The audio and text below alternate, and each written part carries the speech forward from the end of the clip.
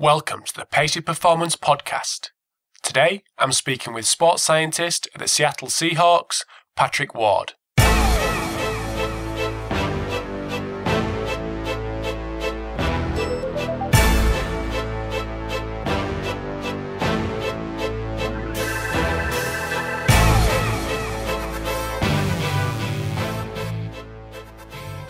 Hi, guys, thanks for tuning in to episode 33 of the Pacey Performance Podcast.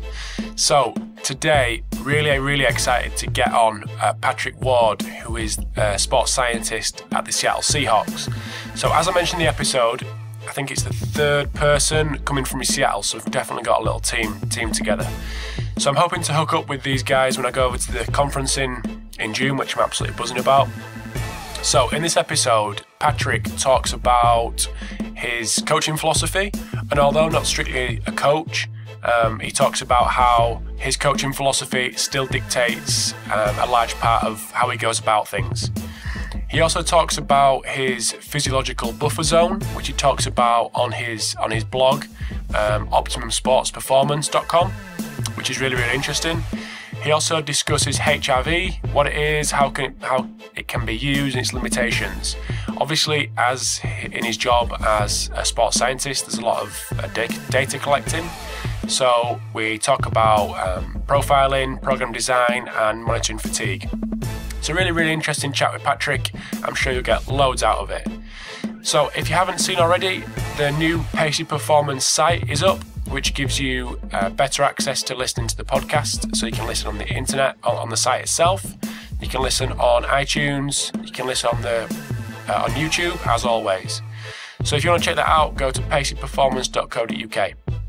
There's also a couple of other pages on there, so you can go over to the resources. There is a page dedicated to the podcast and a blog, which I'm going to be increasing the amount of, of time that I put into that as well. If you've got any feedback on any of the episodes of the podcast, please feel free to comment on on the podcast page, on the um, individual episode page. There's a little section at the bottom, and you can post your comment. If you do want to post your comment and guide it towards the person who has been on the on the podcast that episode. So in this case, Patrick Ward. I'll make sure Patrick is aware of the question you had, uh, and I'll get him to pop on and answer your questions. So, just one last thing before I let you go. I'm involved with the organisation of a, a seminar. So, it's the South Yorkshire Performance Seminar, which will be going on at Sheffield United's Academy and will be taking place on the 1st of July from 6 till 9.30 and there's three speakers uh, on the evening, which is Ross Burbeary, who has featured uh, a couple of times on the show, who is head of sports science and research at Nottingham Forest. We've got Luke Jenkinson, who is lead academy S&C coach at Sheffield United, and we've got Paul Bauer, who is head of academy sports science at Barnsley FC. So Ross is going to discuss developing explosive power safely in football. Luke is going to look at role of play and multi-sports to, to athlete development, and Paul very enthusiastically will be discussing realities of developing players on a budget.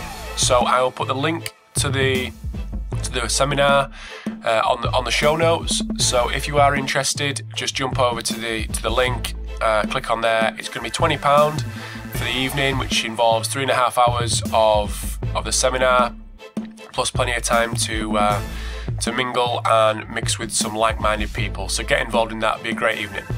And before I go any more, here is the interview with Patrick Ward.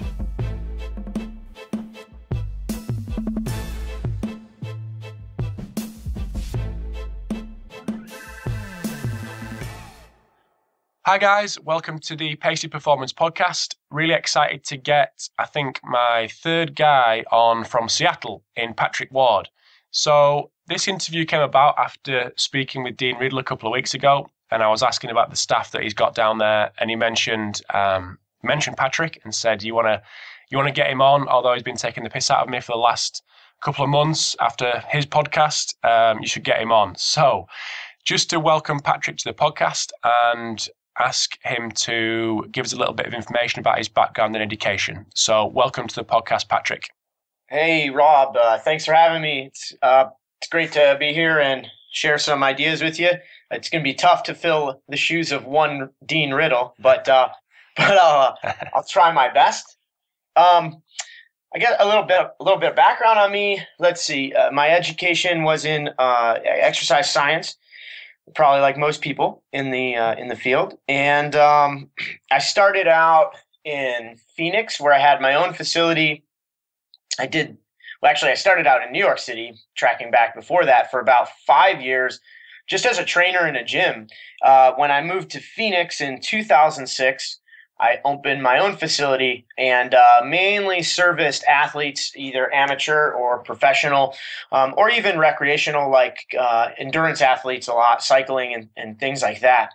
Um, I spent six years there, and in 2012, I went to Nike, where I spent time uh, in the sports research lab, um, working under a guy, Ian Muir, who's a, a physiologist, and um, it was a really great experience for me, just in terms of uh, delving more into data collection and, and stuff like that. Um, and I also got to work with another really good strength coach there, Keith D'Amelio.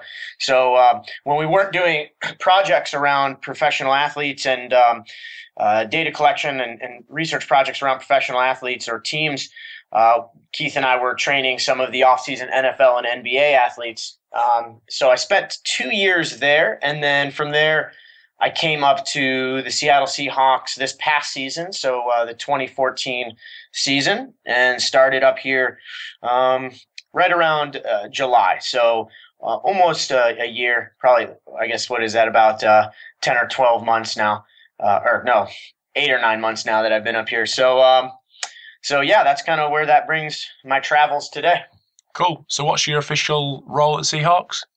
Yeah, uh, I work inside of the uh, the sports science department. Um, so we have a strength conditioning staff, we have an athletic training staff, and then uh, and then we have a sports science department, and uh, we report directly up to our um, director of player health and performance, and he kind of oversees those three departments and is the main uh, go-to person for the GM and the coach and the coaching staff, a guy called Sam Ramsden.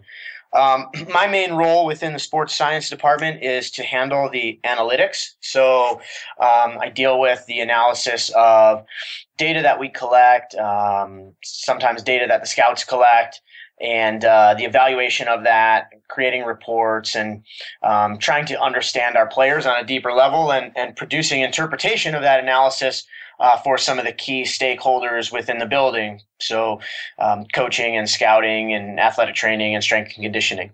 Mm-hmm. So, as, as we talked about before, I don't think Dean has got the grasp of NFL. But how was your transition? He's learning. He's learning. He's learning. He's learning. Yeah. yeah, give him some credit. Um, yeah. So, how, how, was your transition coming from Nike um, into such a big um, enterprise like the uh, like the NFL?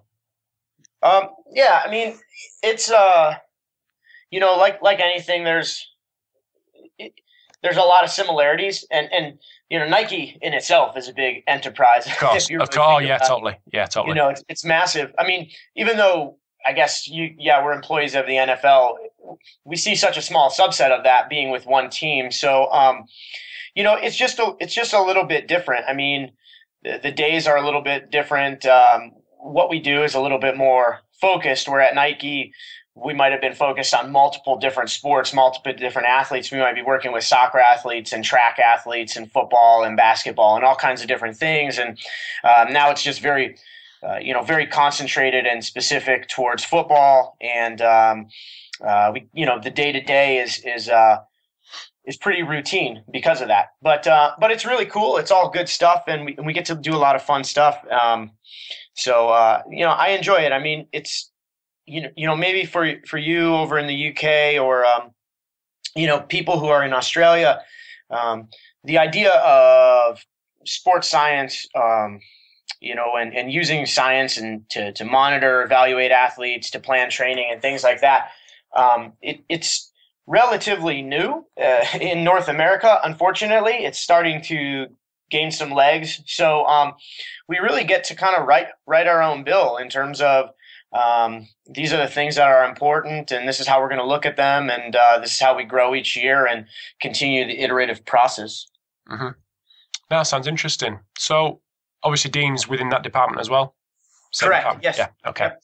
So, I mean, I'm quite cautious in asking you about the kind of things that you're doing at the Seahawks because of obvious reasons.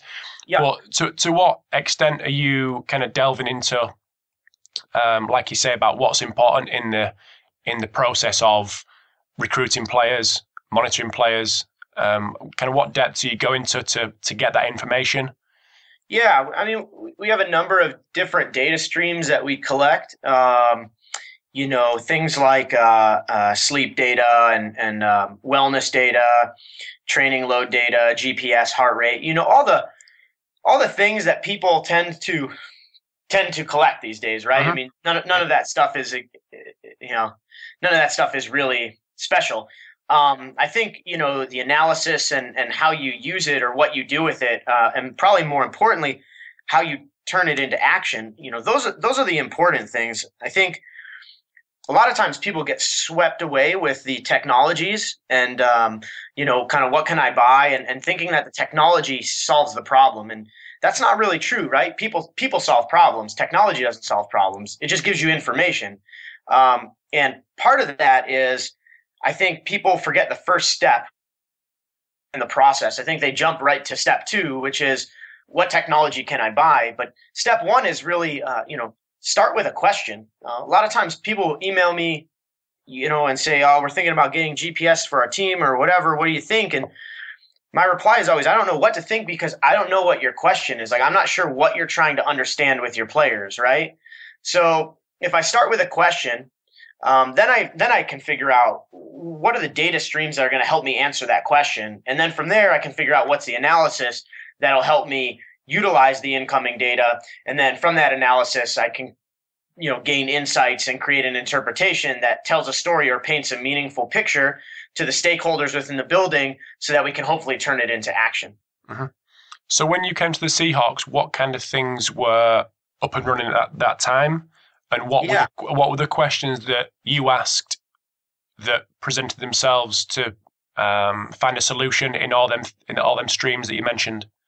Well, uh, the year prior to myself and Dean uh, heading there, uh, the team was already going down this route. So um, they were dabbling in things like GPS, and um, uh, Dean was working for a um, uh, a company that does like a you know, sort of like da- athlete management platform, like dashboard type of stuff at the time. So, um, uh, you know, he was kind of working with them to set that up um, prior to, to going there as an employee.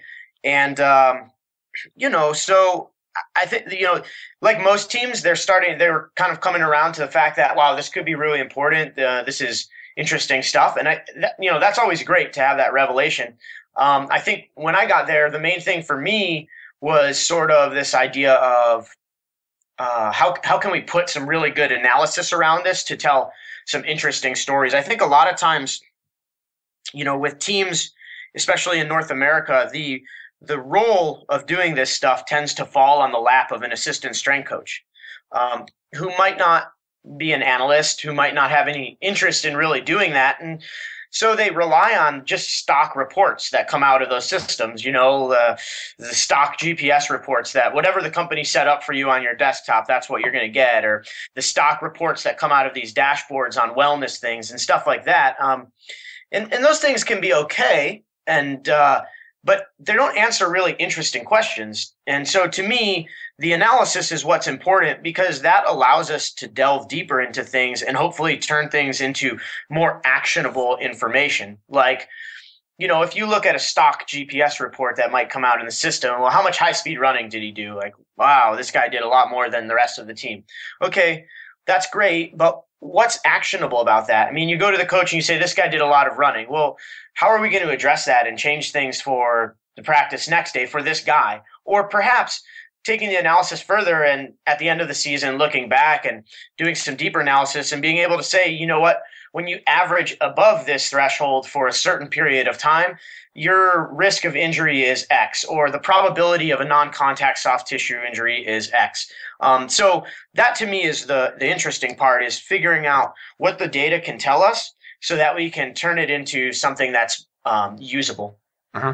Yeah, it's something I spoke to, like I say, I mentioned a couple of times now. I spoke to Dean a couple of weeks ago, and he was mentioning that you were going through the data from obviously last last season. Yeah. So so how much how much reflection is there on last season? How much does that influence next season and the season after and the season after? Yeah, uh, like I said earlier, it's really an iterative process, you know, and um, uh, so this this previous season, the the data analysis was extensive. I mean, I did a lot of stuff. I spent a lot of time doing it, and uh, put together a rather lengthy presentation. That allowed us to have some really good discussions and um, come up with solutions on where some of the uh, bottlenecks are and uh, where we can try and improve things for next season. Um, not just improve things in terms of how we try and get data or try and get analysis or interpretation out and influence the athlete, but also in terms of uh, me just learning some things from our data and saying, wow, I didn't really know this before, but I need to create some analysis around this going forward because this is important information that we need to have every week. So um, it's pretty extensive, and uh, you know, each year I think you try and just build a little bit on the last. And uh, again, you know, I think that's what people don't tend to do is they um, they just keep purchasing more technology. And uh, you know, if they had heart rate last year, they want to get GPS this year. They want to get um, force plates the next year. They they just keep adding more stuff, and more stuff means more data. Um, but if you don't take the time to understand what it is you have already, um, sometimes you're missing stuff. You can't see the forest uh, through the trees, and and and what happens is um, you end up.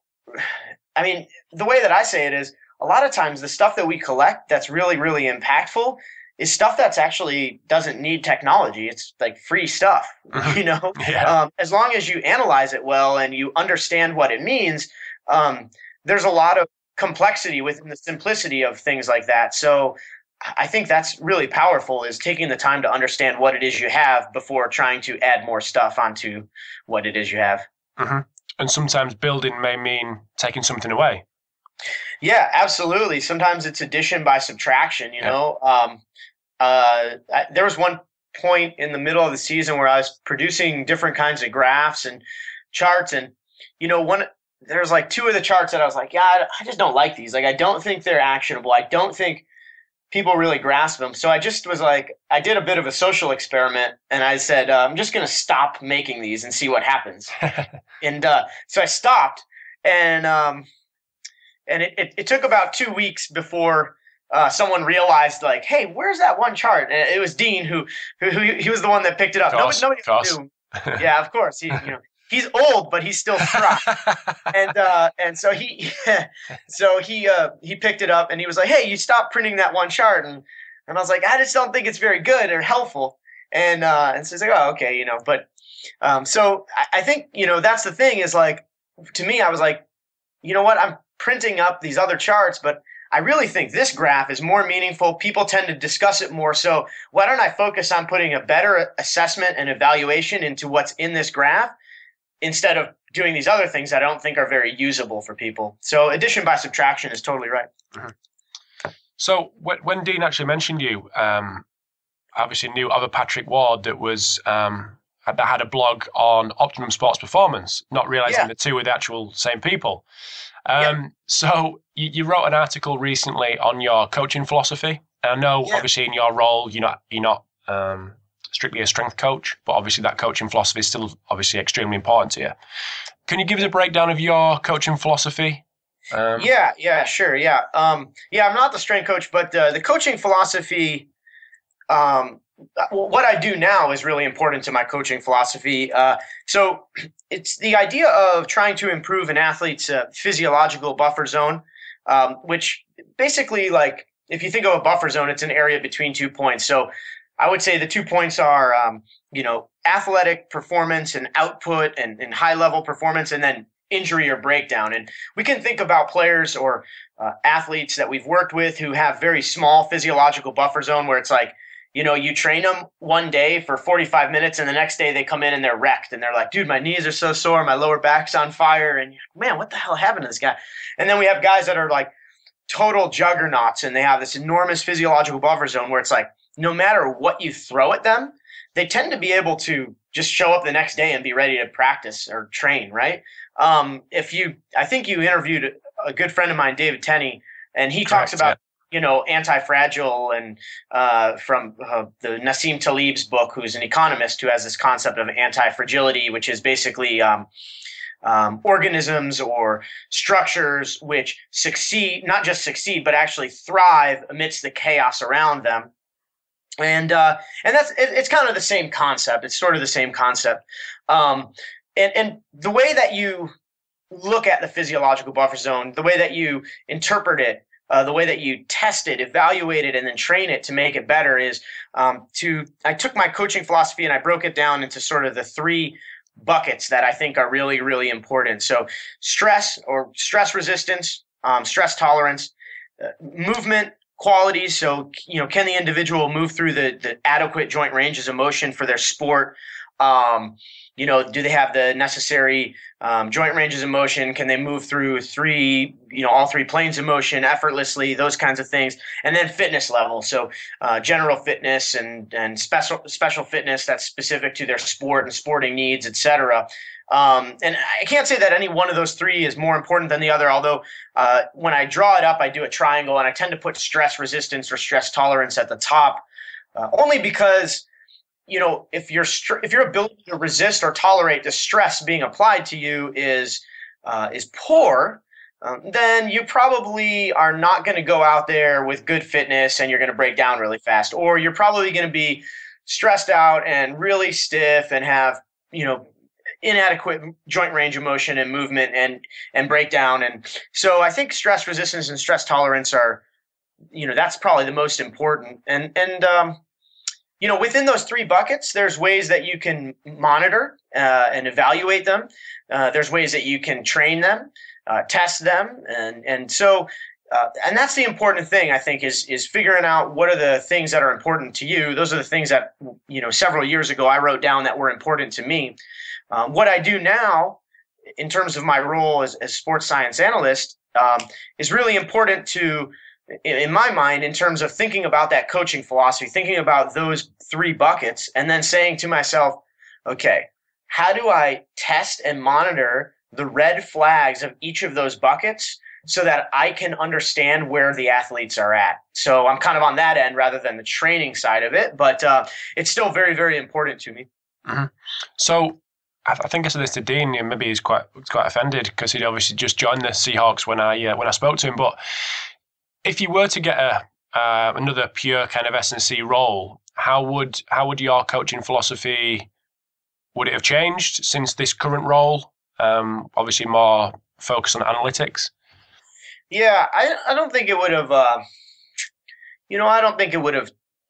You know, I don't think it would change. I mean, those are three pretty big rocks. Mm-hmm. You know, what what changes is maybe the, the way that you yeah. evaluate. Yeah, the way that you maybe train some things, but um, you know, I, I have a pretty th- those are three pretty big rocks, and and those are what we use to, uh, uh, you know, what I would use to write programs for NFL guys when we were at Nike. Um, that's how we would evaluate the guys week in and week out, and and um, uh, those those were the concepts that really um, that you know that we use to drive our program design and understanding of where the athletes were at. So I don't think it would change, um, but you know, just maybe the the the way that you evaluate things and uh, monitor things might you know improve or um, get better over time as we learn more information. Mm-hmm. So. So the creation of that philosophy, how did it? Was it you sat down at a desk thinking, okay, I need a philosophy where do I start? I'm kind of got a pen and a paper. How did yeah. that, how did that come about? Was that how it went? Yeah, well, I think you know, like back in probably, geez, back in like 2011, mm-hmm. maybe 2010, uh, something like that. Um, I was getting into like uh, heart rate variability and having people do questionnaires and things like that. When I had, you know, this was back when I had my own facilities. It's probably like yeah, like 2010, maybe 2009, 2010, something like that. And um, I was getting into that kind of stuff, and uh, and then I was working with some cyclists, so we had guys with power meters and things like that. So that kind of was the start of me being like, okay, wow, like we can collect information and objectively go about our business in terms of um, how we train, how we progress, where whether we progress or whether we hold steady because we don't think we're getting what we want from our training and things like that. And um, back at that time, I think 2009, I did a, a presentation for an NSCA conference in Arizona on heart rate variability. So just like a simple, like practical application and and um, so that was really interesting because that spawned a bunch of other presentations where people were like, "Hey, can you talk more about that, or talk more about how you train and stuff like that?" And then um, it was probably, you know, I the the the philosophy kind of grew out of that, and I was like, "Okay, these are the things that are important to me, and this is how I look at them." And then really penning it happened uh, probably two years ago. I was in New York City where I spoke for a day um, a, a, good friend of mine, Charlie Weingroff, had me come out and speak to a group of trainers just on my whole approach. So it was like everything that I do in eight hours.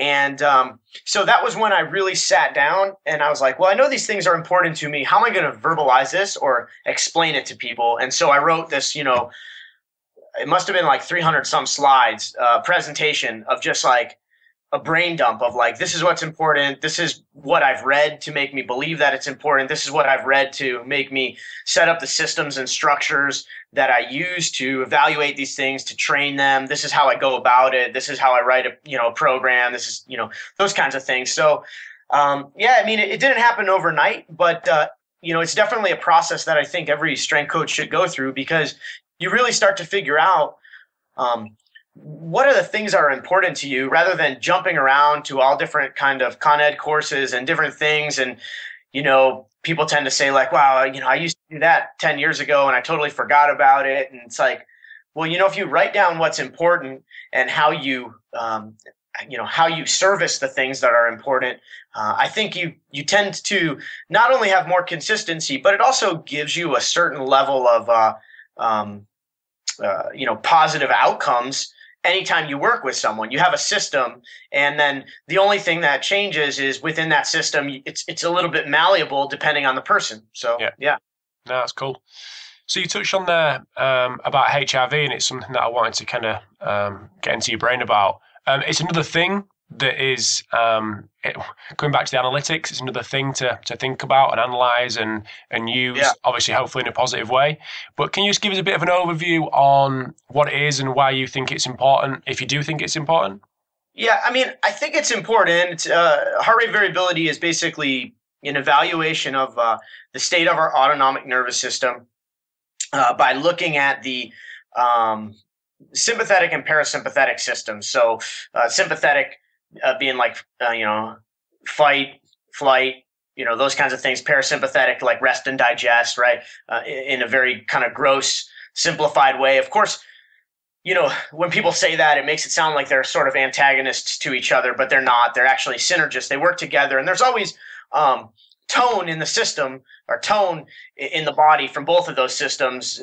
The only thing that really is going to change is is uh, the amount. So you know if if I pulled you off your couch right now and had you go on a treadmill and start to run full tilt, um, you know, we're going to ramp up your sympathetic system because of the stress and your body trying to, uh, you know, mobilize energy and and uh, physiologically meet the demands of that stressor. Um, and then hopefully after the workout, we can sit you down on the couch and get you into a state where you're back to relaxing and you kind of shut down and your body goes into a, uh, a recuperative state. And heart rate variability is a way to measure that, a, a non-invasive way to measure that. And um, it's it, if you think about like an, EKG readout um, where you have your QRS wave, the R is the the high kind of spike, and what heart rate variability is doing is looking at the uh, duration of time between RR intervals, so consecutive RR intervals. Um, and there's a number of ways to to do the math around this, uh, a number of different assessments or evaluations of this.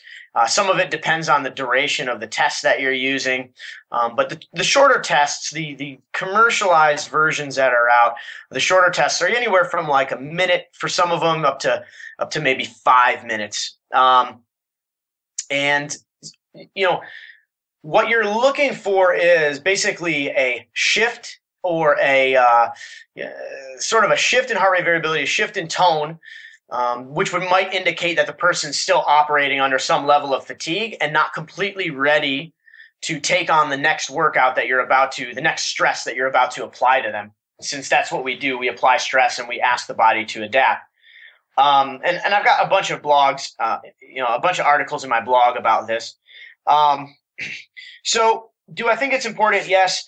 The it can be difficult to use in the in the you know the applied setting. In the research lab, it tends to work out because you can control a lot of things like show up at the lab at 7 a.m. after waking up, don't eat any food, don't drink any coffee. We're going to put you in this room. It's quiet, it's dark, it's always, uh, you know, whatever, 72 degrees Fahrenheit, um, you know, something like that, where we, we can control all the settings. In the applied setting, it's, it's a little more noisy.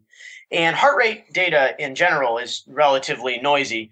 Um, but heart rate variability, it's, it's really no different, right? And so sometimes, you know, people want to apply heart rate variability in, in the you know, in their gym setting. And the problem is like, well, you've got people showing up at all different times of day. If I take your heart rate variability at five o'clock at night or four o'clock at night after a day's full of work and stress, and you drove over there through rush hour traffic, um, you know, I might see this maybe overly sympathetic state, which is reflective of the day that you just went through, but not necessarily reflective of a negative training effect. Does that make sense? Yeah, yeah, totally.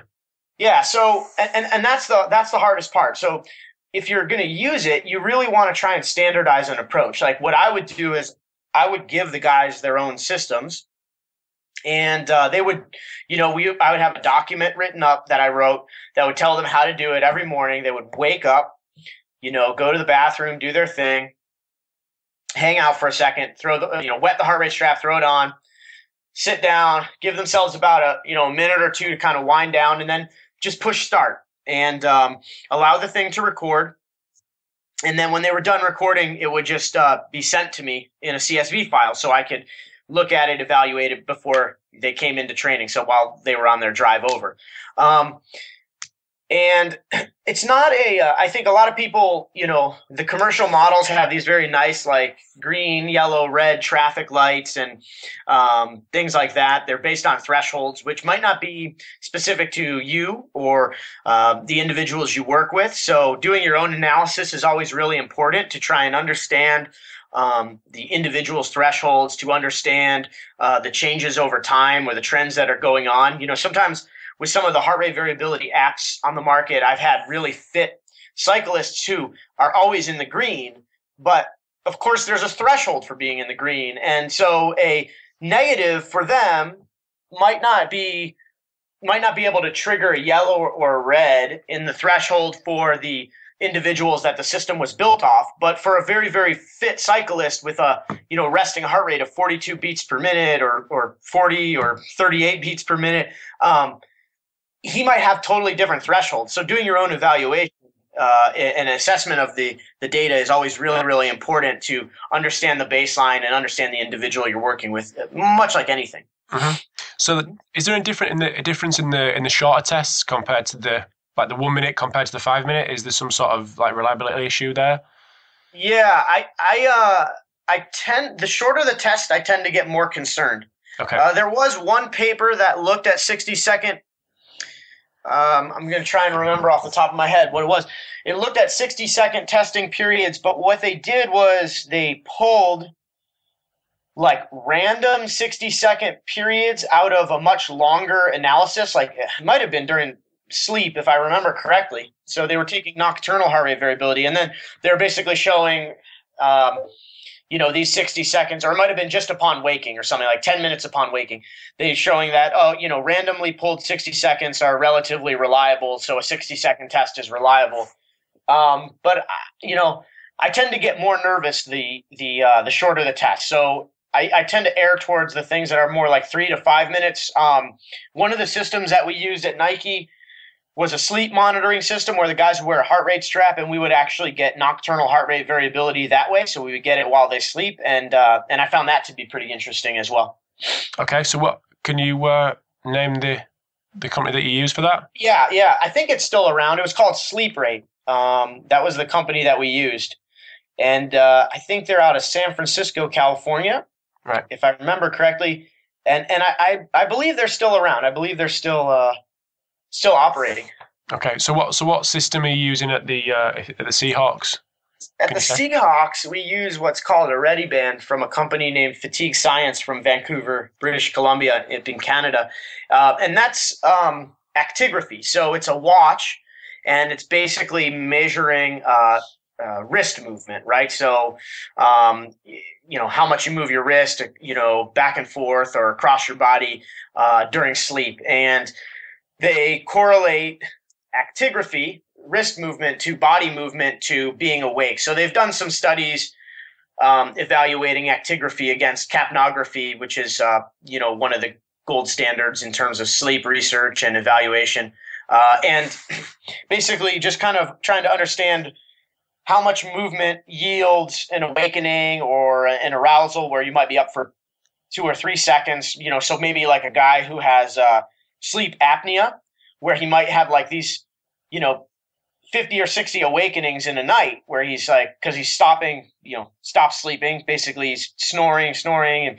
stops breathing and then he kind of you know gags himself and moves and rolls over and, and then does that you know 50 sometimes a night. Obviously that's very disordered sleep. That's not good. So um so the actigraphy can pick up the movement of the body and then from there um you make a determination on the quality of sleep mm-hmm. so so someone take that take that example um, that you, you just mentioned. How would you go about creating intervention for that for that person? What kind of things are you are you looking at for your yeah. guys? Something like that.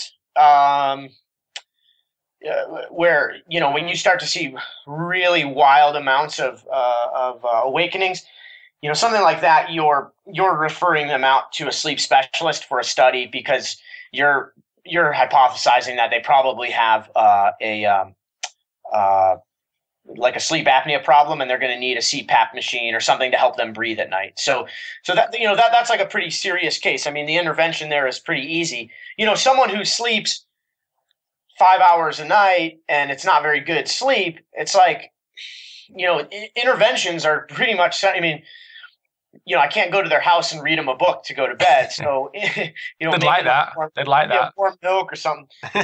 you know, so um, so interventions are more centered around education. Mm-hmm. Uh, so you know, turn off the you know turn off your cell phone and your iPad when you lie down to bed. No TV. Make the room dark. You know, cave like.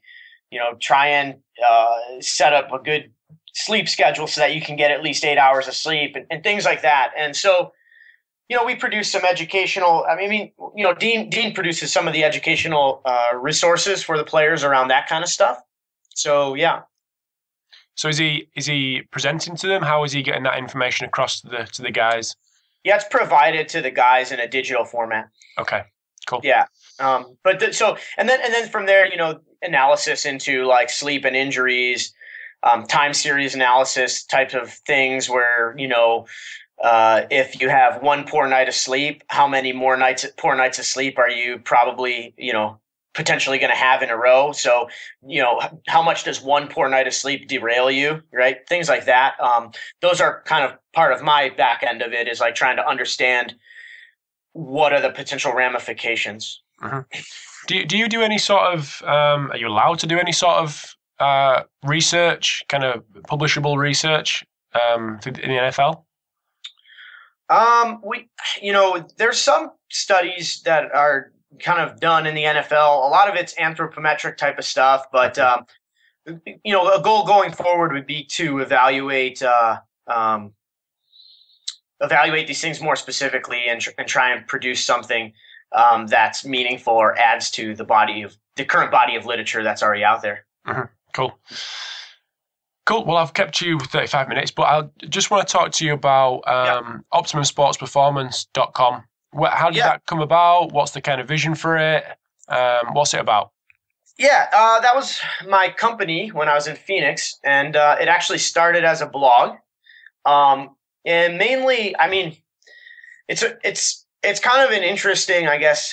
Uh, it's been an interesting journey. It's been about six years, maybe six, seven years, I think, since I've been writing it. Since whatever, 2006. Um, so I started it out just as like a way to sort of pen my ideas. Like, this is what I'm reading. These are the things that interest me. Um, so it's kind of evolved, you know, like the first few years are more like general training stuff, and then it was like more very sport esque type stuff. Then as I got into like soft tissue work, it was very like massage eh, based and hands on therapy based, and then and how that bleeds into training and recovery, and then it got into like a lot of the monitoring stuff. Like i said articles on heart rate variability and questionnaires and things like that. And and uh, and now eh, you know i've written some articles on data analysis and um, you know i have a few more kind of coming up that i'm going to probably write once the nba season wraps up here on the uh, on the 14th of april.